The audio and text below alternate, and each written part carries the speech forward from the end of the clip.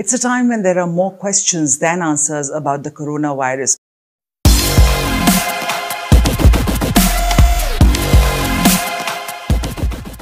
coronavirus, both in India as well as the entire world. I'm joined by Dr. Naresh Trehan, who rightly insisted that we have the right amount of social distancing between us uh, here for this interview. And he said, in these times, this is the bad format for an interview, and remote interviews are more, more better. And he's obviously got a point. The first question that I want to ask you is about the lockdown. And is this a precursor of things to come? And does it mean that we are gearing up for stage three of the virus? People are worried they should be worried. There's no question. This is a time where you cannot be more careful and more worried. So, in other words, you must be responsible. That means that there are set guidelines, protocols, which have been uh, sort of uh, displayed all over the place, whether by poster, by TV, by, by radio, by print, that today is not the time to show any bravado. You would be bordering on not only irresponsible stupidity if you take it lightly. So that's a, as strong a statement as I want to make about that. Right.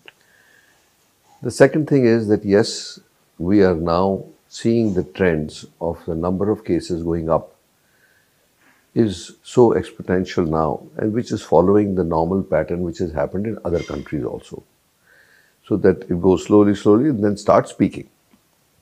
Now, what can we do at this stage? So, first step was we said, let's disperse the workforce, if you don't have to go to work, all that stuff. But then, yesterday was a significant day from that point of view.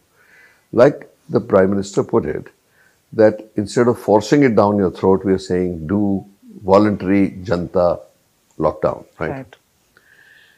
And that, I think, has been very successful. So people have understood that yes, it, if you stay home, the streets will be empty, you will not, you will be only with your family, and the chances of spread may be less by breaking this chain of people meeting each other.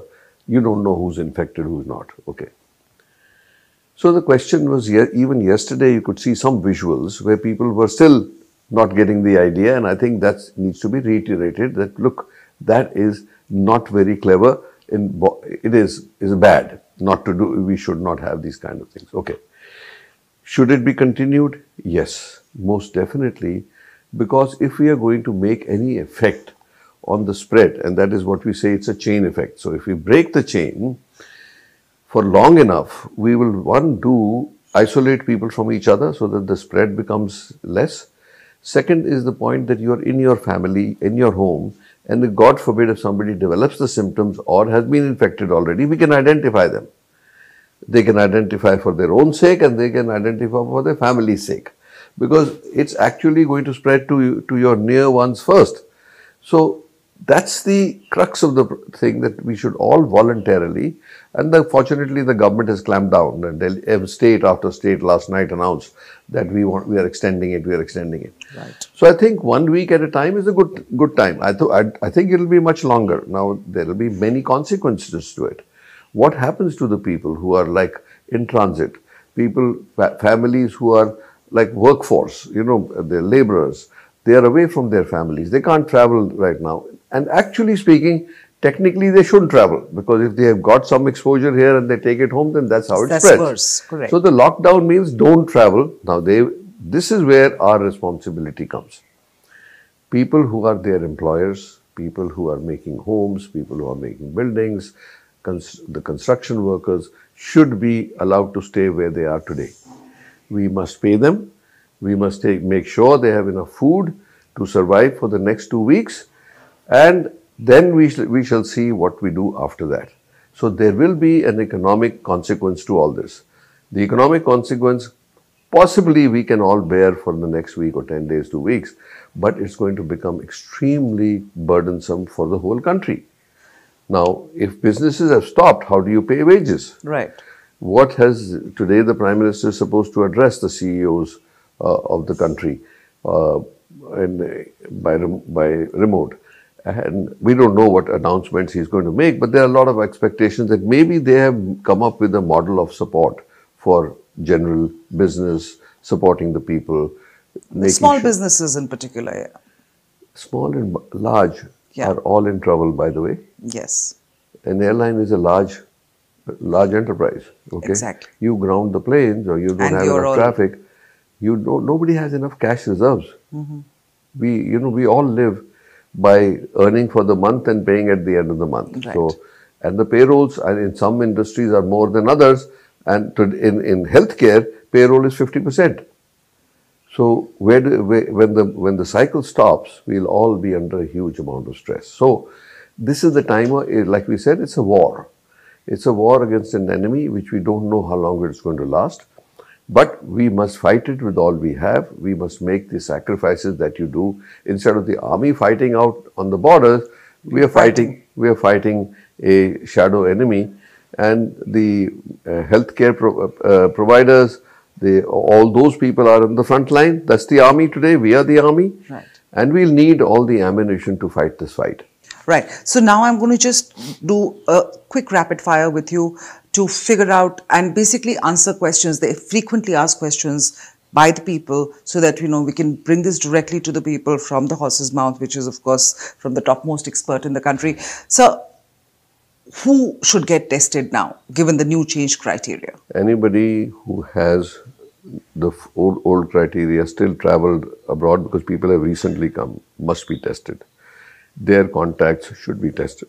Right. Everybody who's come from outside must quarantine themselves. Quarantining means that you actually stay at home and don't bring people home, don't have small dinners. You, quarantine has been misunderstood. People yeah. are saying, oh, we'll have small dinners. We have two, three men. That's not quarantine. We must all block. We must all lock down. Have virtual dinners we have, you can you can have on on Skype you can have have dinners have together. You can do yes. many things, but do not meet each other. And when you do, distance yourself. Right. Second thing, that there is a uh, you have to be right now. If you and the second party is already tested, the contacts are tenses, but then somebody who has developed symptoms like cold, cough, fever, must go see the doctor right away because there are some peculiar symptoms of it. Like, like I told you, it multiplies here, and I'm, from the people who have experienced it, they have described it as they get burning sensation in their throat. I mean, like they've never seen before. Okay. So, but you don't want to wait till it get, gets. So, if it's beginning, no harm, get yourself tested because the normal flu is also around. So the trigger should not be so casual, but let the doctor decide because the doctors have enough experience now from, from what is the normal flu and what may be beyond that. So if that is the case, don't hesitate to get yourself tested. Better to find out than not to find out. Have the, you know, where do I, where do I go to get tested, for instance? That's the other so, question so, so that the, people are asking. So there is yeah. a whole list of government laboratories. There are some hospitals there are now private laboratories also licensed to do it. So you can go to any one of them with the prescription and they'll do it. And the, and the price has also been fixed as 4,500. Right. So anybody who has a common cold and cough but fears that it could be more needs to go to a doctor and on the advice of the doctor then goes for prescription testing. from the doctor, they can get it done. They can get it tested. So they need a doctor's prescription to go and get the Correct. coronavirus That's test the protocol, done. right. Okay.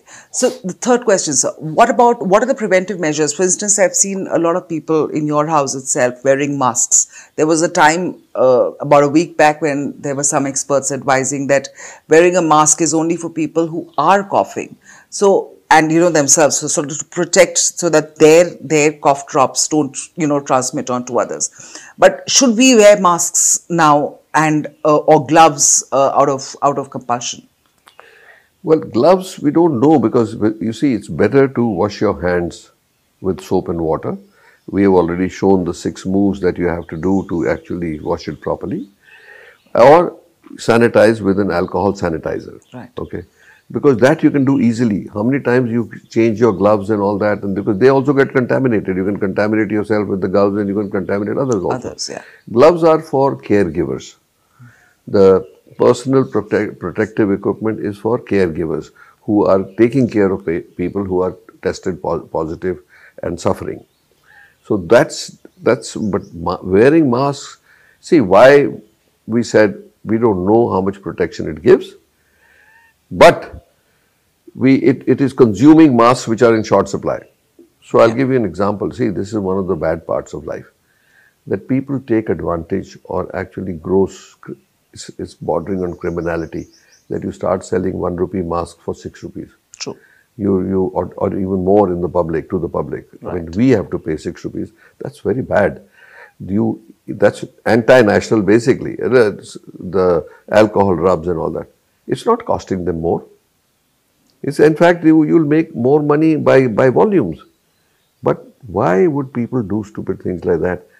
It's, and the government needs to clamp down on that.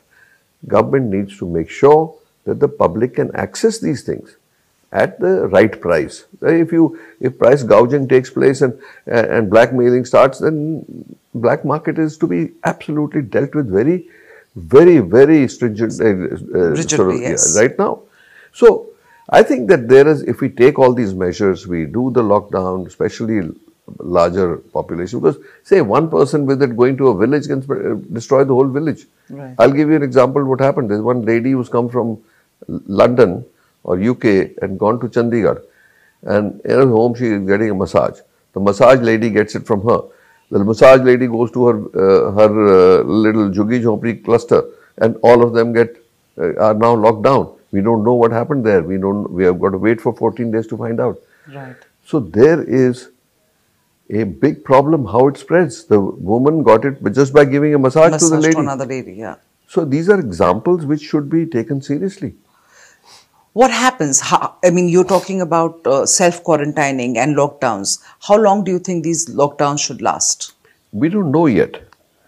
I think it may be three to four weeks that would be extremely effective because that it will thrash out the people who are already infected.